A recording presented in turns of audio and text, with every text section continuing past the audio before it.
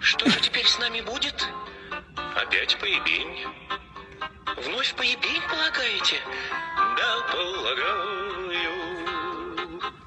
Сквозь поебень свой жизненный путь пролагаю. Трудно бывает, но я в этом смысле кремень. Что же со всем этим делать? А нахуй послать?